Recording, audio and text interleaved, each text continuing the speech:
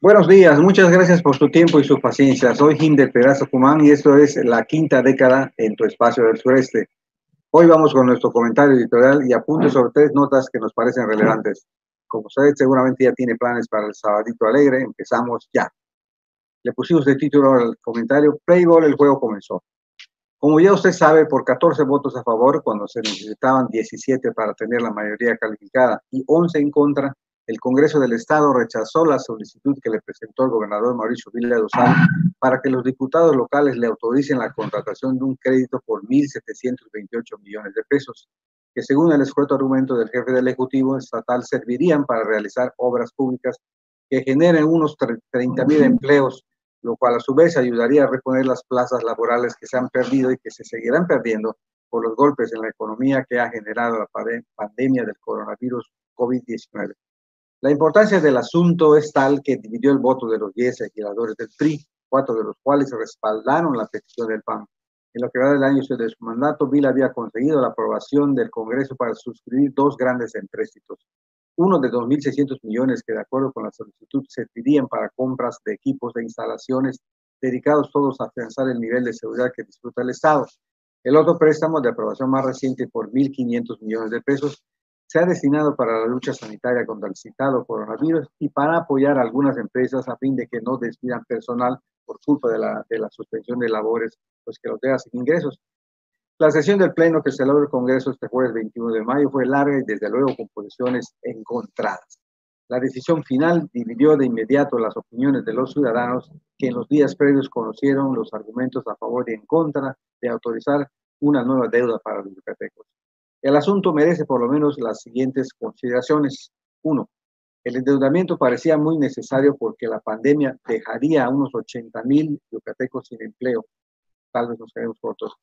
El gobierno dijo que el préstamo se utilizaría para construir obra pública, al parecer principalmente en el, interior del Estado, porque esa actividad es por excelencia generadora de empleo, que por lo general es de bajo nivel técnico y paga, pues, reducida.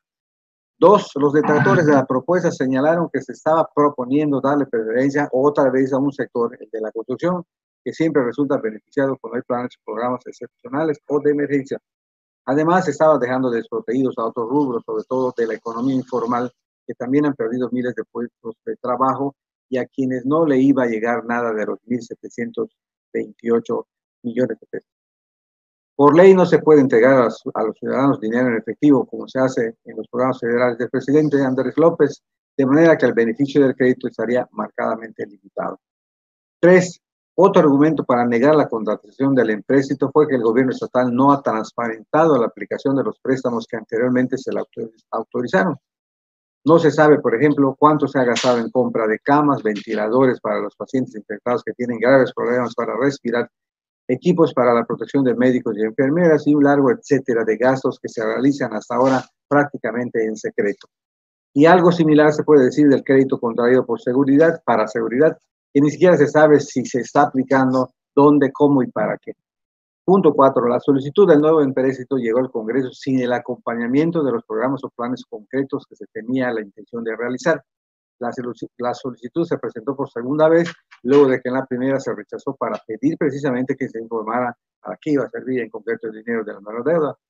Un poco de humildad, pragmatismo o empatía del Ejecutivo quizás hubiera allanado el camino, porque el PRI eh, presentó unas propuestas para incorporar que podrían, podrían ser muy útiles.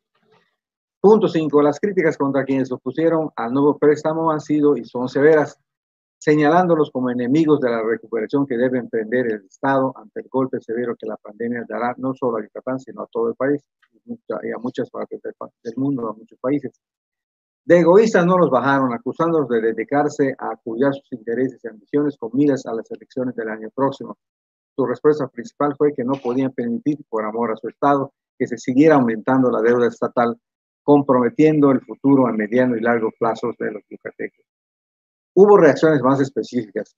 Casi inmediatamente después de que se dio a conocer el resultado de la votación en el pleno del Congreso, el presidente nacional del PRI, el exgobernador de Campeche, Alejandro Moreno Cárdenas, anunció en Twitter que había pedido ya al comité respectivo de su partido que empiece los trámites para expulsar a los diputados Luis Enrique Borja Romero, Lila Frías Castillo Mirtea Arjona Martín y Warner May Escobar, los cuatro que votaron a favor del préstamo. El anuncio de, Ali, de Alito Moreno causó el rechazo de veteranos priistas, quienes advirtieron que esa medida dividiría aún más a lo que queda de militantes del partido tricolor. Además, reviviría las exigencias de algunos sectores de que se castigue a integrantes del gobierno estatal priista próximo pasado que supuestamente habrían maniobrado para que el panista Vila Dosar gane la gobernatura y no han sido investigados por los millonarios, multimillonarios desvíos de dinero público que también se les atribuyen. Por su parte, el gobernador Vila Dosal, tras conocer el resultado de la votación, lamentó que los diputados que se opusieron al préstamo no tuvieran la capacidad para darse cuenta de que el propósito del Ejecutivo a su cargo era solamente crear empleos y superar, tratar de superar el estancamiento económico de la entidad no beneficiarse él mismo y su partido. ¿Cuál es el saldo político del rechazo al préstamo? A primera vista parecería que los más perjudicados en este asunto van a ser los periodistas que están de divisiones hasta el copete, además de que han perdido la mayor parte del apoyo que tenían en el electorado.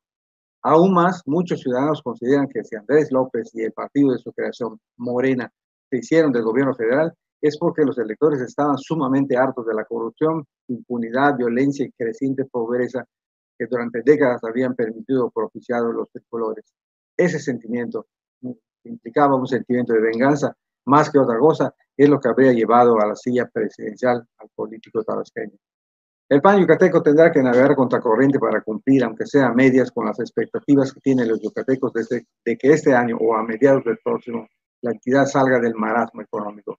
Si Vila Dosal tuvo alguna vez la intención de buscar la presidencia de la República o la tiene, probablemente ahora está analizando si abandona la idea, aunque falta mucho para las elecciones del 2024 y en la política mexicana todo puede pasar.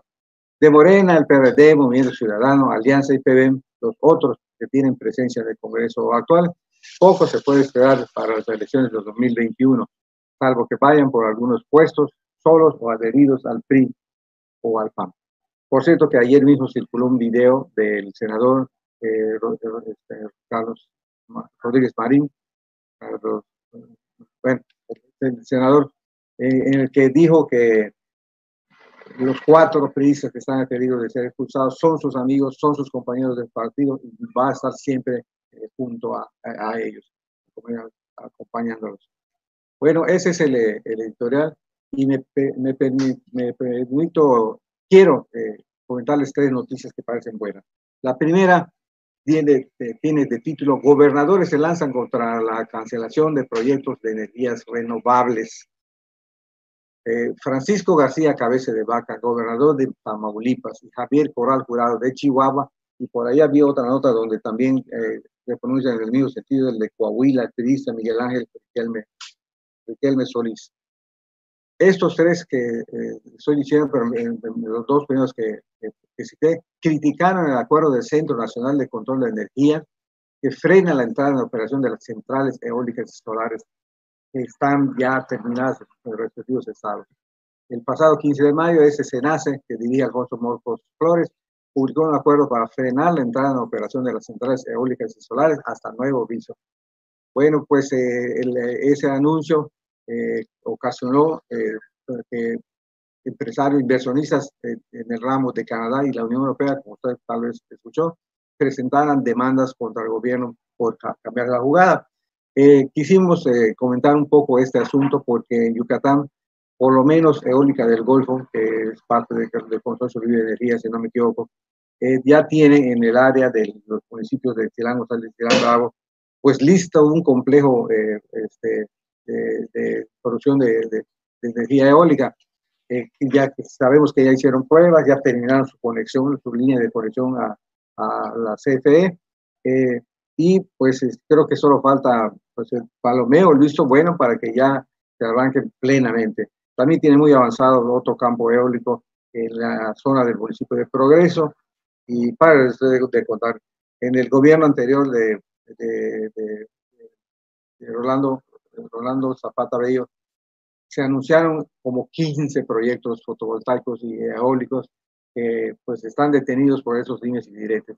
Eh, calculan que con la, la actitud del SENACE de, de cambiarles la jugada a los inversionistas, se perderían unos 30 mil empleos de mínimos, ¿no? Es un asunto muy importante que estaremos pendientes de seguir. Nota 2, crece 64% el costo de la corrupción en trámites.